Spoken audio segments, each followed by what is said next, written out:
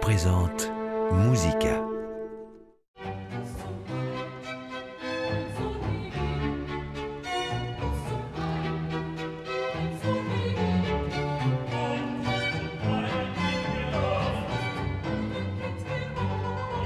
Le Messie de Handel, revu et corrigé par Mozart.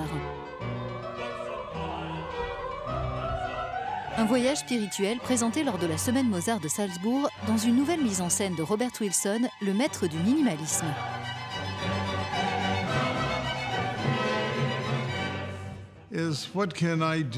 Que puis-je faire pour donner de l'espace à la musique? Quand je ferme les yeux, j'écoute avec une plus grande attention. D'où cette question, suis-je capable de créer quelque chose sur scène qui, avec les yeux ouverts, m'aide à mieux écouter la musique?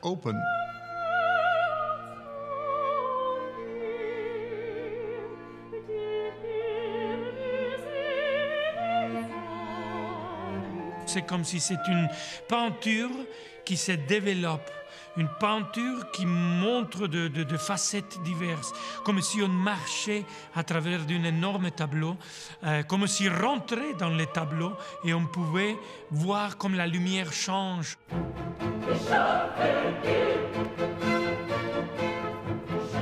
Cette version mozartienne est le fruit d'une commande que le compositeur de Salzbourg a honorée en 1788. Il a traduit le plus célèbre oratorio du répertoire en allemand, mais aussi modifié certaines tonalités et utilisé d'autres instruments.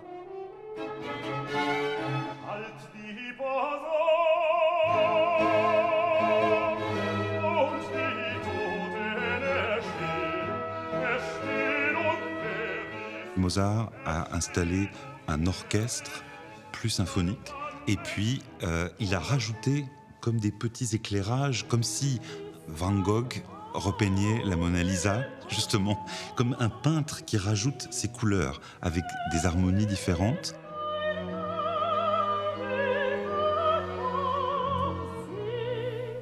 C'est un changement de monde complet, mais ça reste toujours le Messie de Handel, c'est sûr.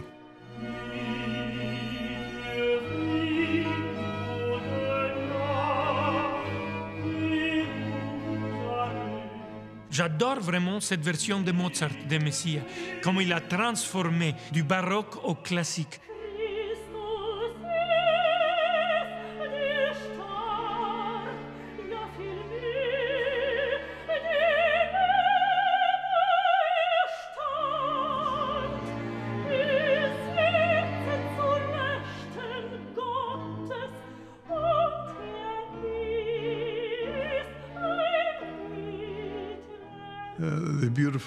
Ce qui est magnifique dans la musique de Mozart, c'est qu'elle renferme de la lumière qui amène de l'espoir.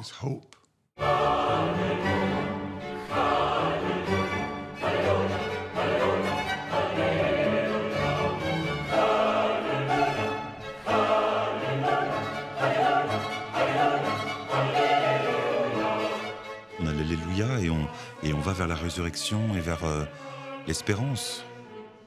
C'est sûrement une œuvre qui contient beaucoup de messages philosophiques et c'est peut-être pour ça qu'elle est si euh, populaire et intemporelle.